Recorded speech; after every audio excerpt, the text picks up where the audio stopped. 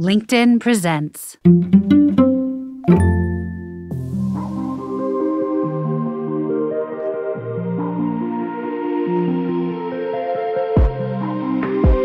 This is the Forbes Books Podcast, conversations with remarkable folks who are impacting the world of business and beyond. Hola, I'm Joe Pardavila, and my guest this week is Emilie Poteat, the founder and CEO of Advocate, a company that is revolutionizing the way people apply for benefits.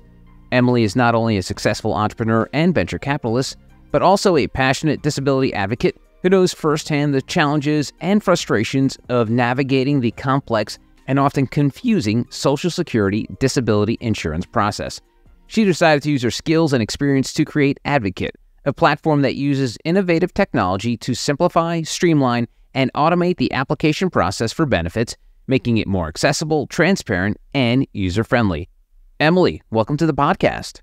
Thank you so much for having me. So, Emilie, one of the reasons I wanted to have you on is a friend of mine uh, mentioned the work you're doing, and I have just so I'll give you a little context. I have this irrational relationship with fairness. I think since I was a little kid, I, I would always use a word that's not fair, and as an adult, I've used it in my everyday life in terms of like, I want everyone to get their fair share.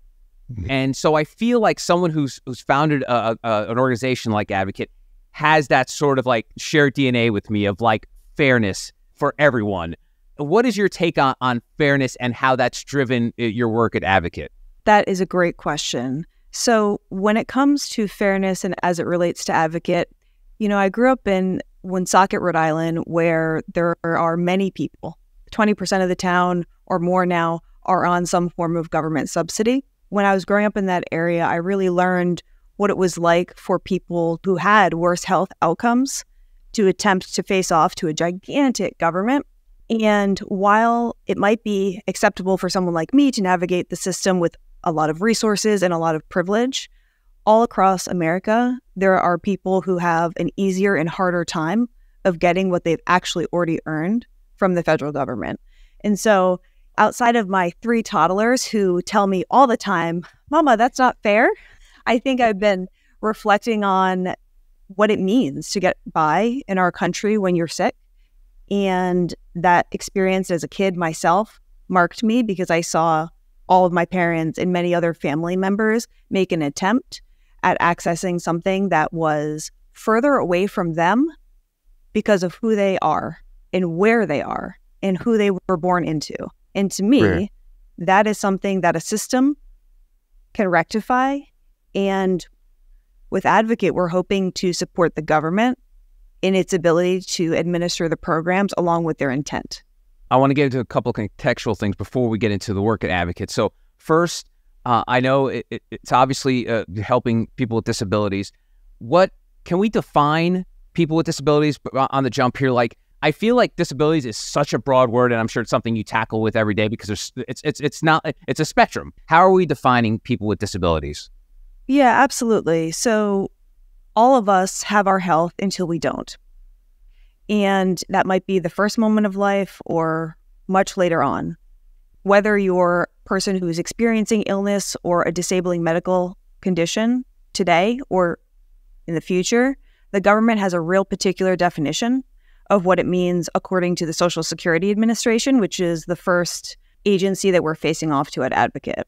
And so for Social Security, you need to be found sick enough so that you can't do any job that you've done in the past decade or so. And the government is the one who looks at your case and your current health and determines if you are, in fact, that level of sick or disabled. There are many other definitions, as you alluded to, because we all have health and we're all human.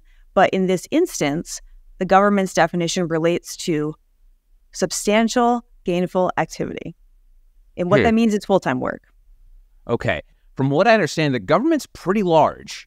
And so, how are they able to judge these individuals on a case by case basis? Because this doesn't seem like, you know, you know, obviously AI is a big part of everyone's conversation now.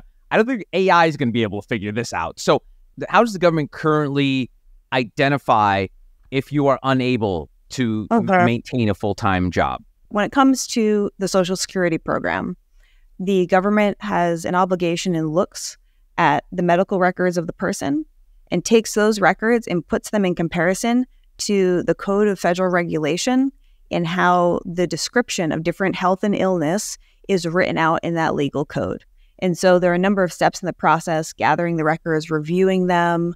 Um, an individual or a citizen has the right to an appeal if they think, I'm so sick, I need a judge to look at this. That can be part of the process. But it's Okay. really a sequential process of taking a look at what's on record about you and your health and whether or not it meets the terms of disability within the Code of Federal Regulation. Thank you very much for that. And there's something I call the entrepreneur's conundrum, the find a problem, fix a problem. Mm-hmm. And the problem you found is, and you actually have your your mm-hmm. website's great, ouradvocates.com, where you have this counter, and underneath the ca- and the counter has at this point 1.8 uh, million, but it says Americans waiting in line for a life or death decision from the federal government. This is the problem you're trying to fix. I'm assuming. Correct. Right now, there are a number of Americans who have applied to the Social Security programs for support, Veterans Affairs, federal workmen's compensation, and they're waiting for the decision. And as you said, it's a hard it's a hard thing to do if you're missing an intake system, if you're missing an infrastructure. And I know you had mentioned, geez, I don't think AI can solve this. Well, I think it can. I can think it can solve a part of it. Right now, I have claimants. I'm a accredited disability rep who have died in the last month, two of them. One gentleman that I know of right now is homeless, and I'm sure there are many others that are on the brink of that situation. And so I don't find that wait to be acceptable.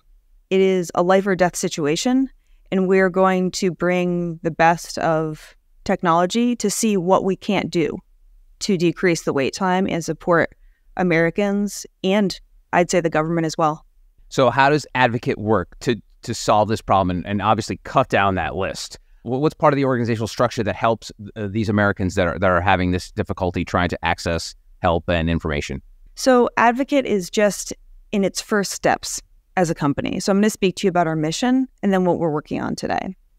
So, really, our mission is Joe, if you got sick and you, you could not do a single job, I believe that you should have an instantaneous influx of capital and support, not for not for anything fancy. Our claimants tell us they need to buy groceries, they need to pay for their housing, and they need to buy prescriptions. That is what the money is for. And in fact, if you've been a taxpayer, the money you've set aside the money in a public benefit for yourself already. And so that instantaneous support is what we will achieve. There are maybe 50 pathways to get there. um, and so let me tell you about the one that we're working on today. So, right now, we're focused in on a narrow part of Social Security Administration, which is ensuring that any data our claimants put into an application for Social Security disability insurance. So, the program where you're, if you're too sick to work, making sure that data is full, that the case is fully developed. So we've we've grabbed all the medical records, they're in electronic format, and that we have presented what we believe is the best case for the claimant at the first moment of their application. Today, there's a bit of an assembly line where an individual can apply on their own, they can apply with a representative, but the process goes along. And the first step is gather the medical records. Well, hey, that happened after people apply. And so, really, we are going to hook up to every database out there. And then we're going to compile a claim that we believe will be successful for the individual if it is there. Now, there's another side to this, which is to be very clear what we are not creating are better odds for people than they ought to have. I want to be careful to say we're not going to construct a, an engine for fraud. And the way that I know this is we will be able to look and evaluate individuals' medical tests, their prescription, their doctor notes in advance so that if the evidence isn't there, we'll communicate to those individuals in advance that this this might not be for them right now. So that's what we're working on today. We're working on the we're working on almost the precursor. I like to think of advocate as we are going to be the intake engine for these federal government entitlement programs. We are going to sit in front of the government and make sure whatever our clients, our individual clients, are submitting is best fit for them, is true, and is positioned in terms that are extensible to a really complicated government system. Uh, you, you, mentioned wait time, and we talk about the, the 1.8 million people waiting. You seem to have a lot of data at, at your fingertips. What is the average wait time for, for many of these people? Well, I can tell you that it depends on the condition, the health condition. So let's just talk about Social Security and the, the state of affairs yep. right now. Right now, there are a bunch of steps when you apply for Social Security. There's initial application. Then if you get if you don't win that one, you can have it reconsidered. If you don't win that one, you can have a number of appeals where you speak to judges, things like that. If you submitted an application today, it'd be very likely that you wouldn't hear whether or not your application was approved or denied for 224 days. It might be down to 204, but in any case, you know, Jeez. The Wright brothers made a plane in 60 days. So I, I really think we can cut down that time. And, and, you know, there are cases that are on the margin. I want to give honor and kind of hold the space for the complexity of the process is not easy. It's complicated. But there are cases which are more clear cut, and we want to ensure that they're fully adjudicatable as early as possible because it, because I think it's what's right. I think it's what's in line with the intent. Do you ever get pushback, or maybe just maybe just sort of tangentially from people being like, Emilie, this is just too big a problem to solve. Like, I don't know if you can fix this or be part of the solution because you know when when it comes to the federal government and it, you know the connection for the federal government to the human beings, it's such a rigmarole as we've already detailed. Is the problem too big to fix? I've heard the problem is too big to fix. This is a crazy idea. Sounds like a scam to me 99 times out of 100. And to me, that is a wild advantage for me and our team and what we're going to build. Because I'm not attempting to say we'll rehabilitate and make everybody happy with any government program. But what I, the insight that I, I believe we do have as a group is that in private industry, we can construct in a righteous intake system so that when Americans are facing off to the government, they are supported, they understand what their chances are, and that they can access instantaneous support. When I think about solving every single problem at once, that probably isn't the most strategic route. And I feel lucky that we've identified an area in which the instinctual reaction is what you just said. It is it is not too big to fix, but the fact that everyone thinks it is means that there's a real first mover advantage that we have. I love that. That's awesome. And I know Advocate is already operational, but your web-based app is set to launch in the fall. Mm-hmm. Can you walk me through how it's going to work? Like so sure. once say September October rolls around, there's an individual who who needs help there on this 200 day waiting period or they or they're about to start. Uh, uh-huh. Can you uh-huh. walk through how it all works? So, you know, I'm just going to speak about Social Security disability. That's how we're starting. Um, this you yep. can imagine this intake idea could apply to, geez, uh, veterans. It could apply to immigrant other things, immigration, commercial purposes. But today, for Social Security disability claimants, we will have a view of the individual. They'll find us via phone, via marketing, via hopefully partnerships with social workers, partnerships with, with parole officers, things like that. And they will have an option to begin an application or appeal an application in a web based flow, or they'll have an option to call us and work with one of our accredited advocates to evaluate what is within their health record. And then our system will present a case to the Social Security Administration that takes into account the health record as opposed to a self account from the individual.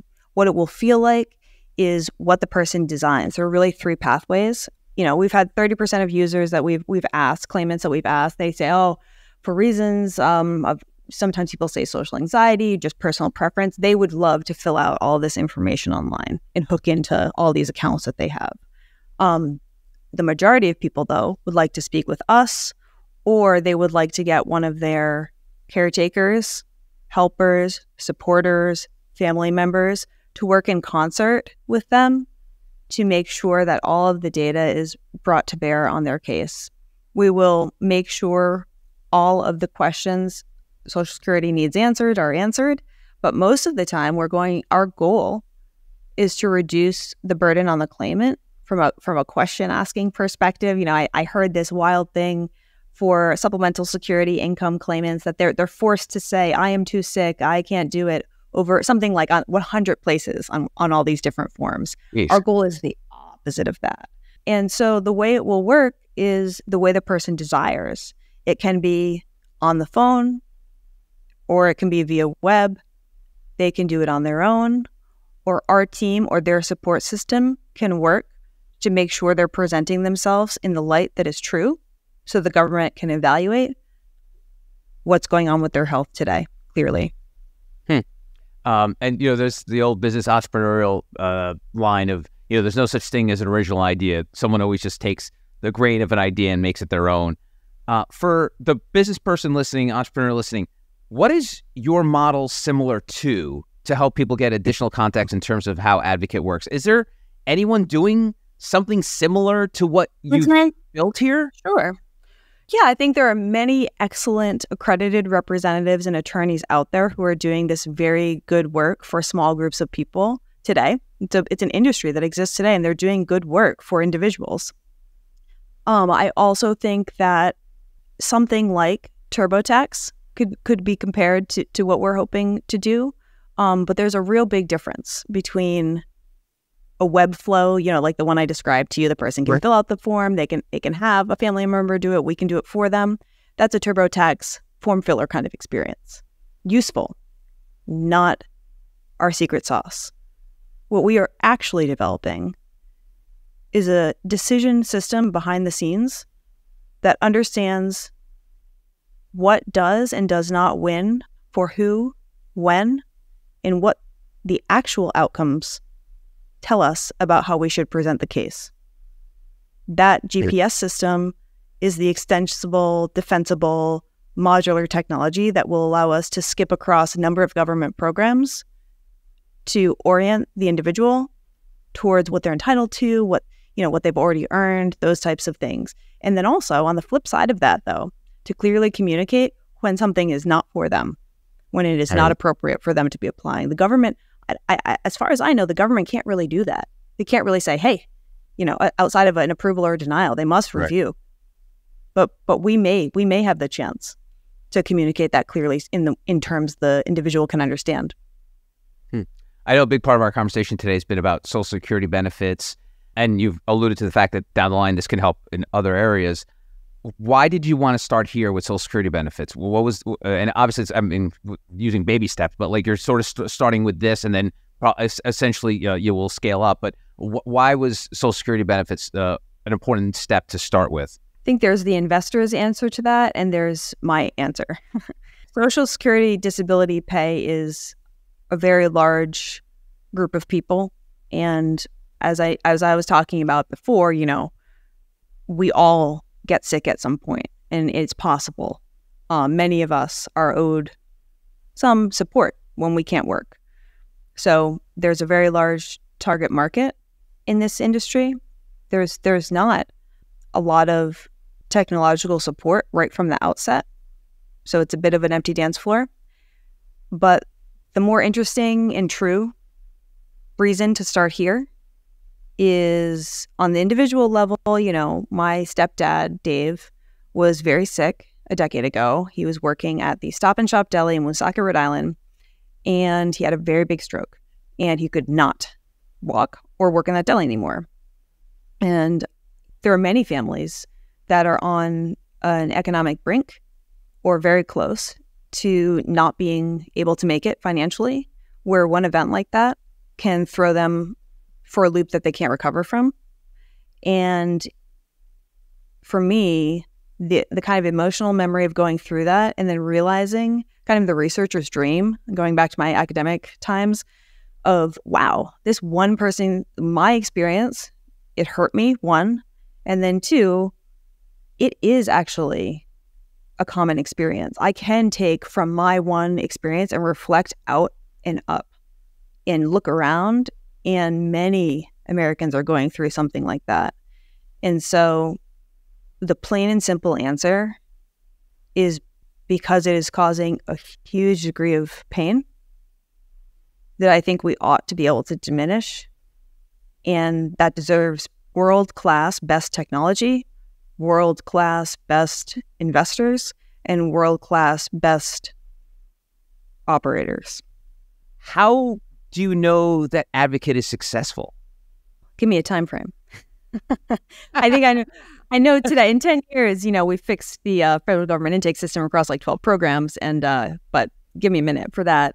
Today, are probably our our most core metric is time to dollars in pocket for the individual who is eligible. So what I'm not saying there is finagling cases that are not eligible into eligibility. What I'm not saying is identifying for huge groups of people that, oh, maybe if they did X, Y, and Z, they could make it. No.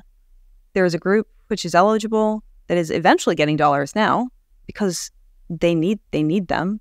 And so the shorter that time frame becomes, the more we know what we've done is working. That goal is fairly simple and that in it makes me excited because there are I think I have a list of like 50 tactics and approaches to reaching that one goal. And the one that I talked about today is just one of those 50. Awesome. You teased me earlier because I said, you know, AI can't fix this. So let's have the AI discussion. How does AI play a part in Advocate right now?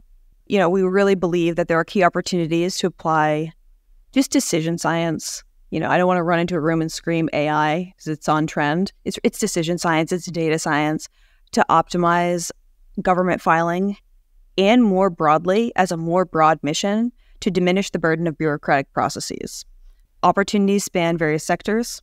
They are federal government benefit programs. They are commercial opportunities at, when it comes down to scenarios that involve extensive human processing in decision making and risk assessment as it relates to something like the Code of Federal Regulation or, or a law system that um, make, may change, but the changes are markable and they're not rapid. And so our focus is on developing the prototype. Yes, we will have a web application. Yes, individuals will have a, you know, forgive me, but like a TurboTax like experience with advocates that I believe in that are that have been doing this for decades that are excellent, that used to work at Social Security, you know, that used to work at law firms. We we have those people and we will have the web presence so that an individual can have a ex- supportive experience with us. But genuinely, this is a GPS business. No one needs to know that there's a gigantic decision support engine behind what is powering their claim. They just need the, the dollars to go buy groceries. I have a client who has told me I can I can speak about his case. His name is Richard and he is suffering from a number of ext- extremely significant health conditions and has um, been homeless in and out of different friends' houses for the past few months. And last time I talked to him when I was preparing to um, communicate some of what he was going through to our investors, he said, Emilie, the thing you tell them is when I go to the grocery store, I decide if I'm going to buy garbage bags or toilet paper. So I, I do not remember last time I had to like make a choice, but that is common. And that is something we ought to be able to, if we don't solve it in a huge sweeping way, you know, you alluded to this as a big audacious goal and a big problem. So what? Let's make a step. Let's try to make a step. Let then another one, then another one. Hmm. And so how can people help build advocate now? Anyone listening to this come across your story, like what do you sure. need now to to take advocate as these steps that we've been discussing? How how can you take the next step, and how how can people help do that? Well, we've hired a lot of incredible data scientists, software developers, and are always on the hunt for more of that style of founder slash employee.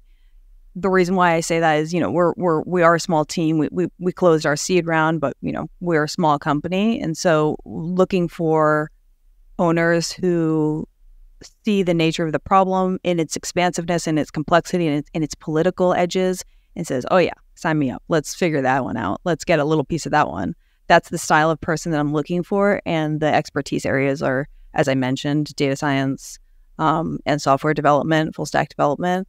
And then I think beyond that, I am looking to work genuinely in concert with the government. That is a hard thing to do. And so, what Advocate needs, and probably what I need, are allies who can help me navigate that terrain. Because while I know we can cut down on the wait time for individuals through technology, through support, through a certain method of presentation of the facts, the government needs to receive what we're giving them. And that means we need to be in relation and, and hopefully cooperation. Uh, we joked earlier about uh, you know what you see the company's ROI being in the future, but uh, if I could pop you in a time traveling DeLorean right now and we can fast forward to 10, 15 years from now, what does advocate look like to you in, in that time frame? I, I really feel like for now, in the middle term, our goal is to hook into these judgment oriented bureaucratic decision processes and roll our technological and analytical approach across them. A few of them exist in the government, but I, I believe that for the problem that we've spent most of today talking about, social security disability folks who can no, longer work in our you know American economy, that anyone who is eligible will have an instantaneous decision and cash in bank account. To say, oh, we're going to be a public company, we're going to be owned by one of these huge government contractors, to say we're going to partner across all the law firms that do this work and um, support them. Those tactics, I'm open to any of them, and we're pursuing them in a strategic, kind of prioritized manner. But the one thing that must be true for what we spoke about today and where we're starting is that there is no wait time if you are eligible. And if you are not, you have a fair understanding of why that is.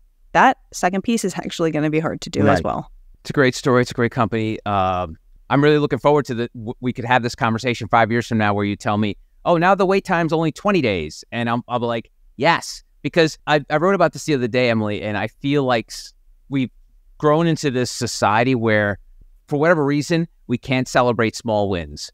Like we're mm-hmm. always striving for a Super Bowl or mi- that million dollar check, but we really need to start focusing on these small wins. And I feel like that's something that I've taken from our conversation with you that you know that you're not going to be able to solve this problem overnight and continuing to rack up those small wins. Uh, Pat Riley, the famous basketball coach, called it the innocent climb of being able to take these little small steps of victories that lead to bigger and grander things. And I and I certainly see that when we talk in the next five years, I'm going to see that you're going to be racking up a lot of small wins and they'll lead to bigger and better things. So thank you so much for your time today, Emilie. Thank you so much for having me. I really appreciate it. You're welcome. And that'll do it for another episode of the Forbes Books Podcast. Don't forget to hit subscribe. That way, you'll get new episodes as soon as they're available. And if you have a spare moment, I would greatly appreciate it if you leave a review, which would help other exceptional entrepreneurs like you discover the show. You can always connect with me on Twitter, LinkedIn, or Instagram at Joe Pardavila. And please don't forget the golden rule and treat others as you want to be treated. Thanks for listening. Until next time, adios.